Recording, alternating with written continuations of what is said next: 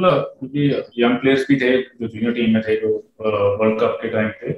And I think combination बहुत अच्छा था। एंड uh, सभी uh, बहुत अच्छा खेले यहाँ पे। अच्छी परफॉर्मेंस रही सारी टीम की।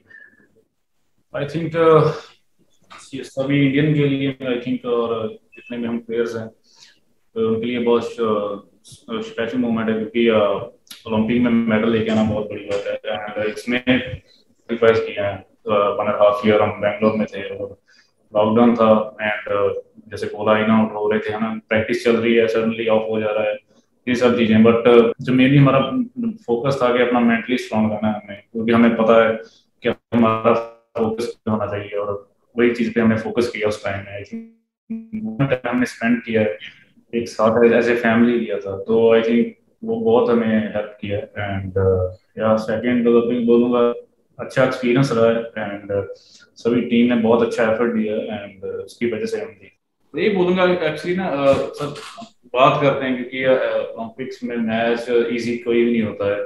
चाहे वो लीग मैचेस हो चाहे कोई भी हो तो लाइक कोच का कॉन्फिडेंस मतलब हर हर टाइम शो करते हैं। और ऑफ़ टाइम में भी यही है कि अपना जो प्रोसेस है जिसकी हम बात करते हैं आई थिंक उसको हम अपनी हॉकी खेलें।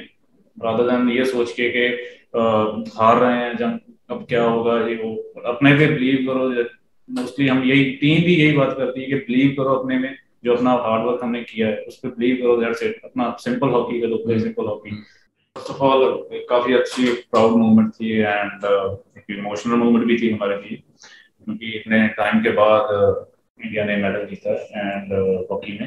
एंड अभी बहुत खुश थे क्योंकि जैसे मैंने पहले भी बताया कि जो हमने हार्ड वर्क किया है इतना टाइम स्पेंड किया है तो बैंक में वो आज काम आया एंड आई थिंक चाहे हम डाउन भी चल रहे थे थ्री वन से तो सबके प्लेयरों में दिख रहा था कि वो जीतना चाहते हैं।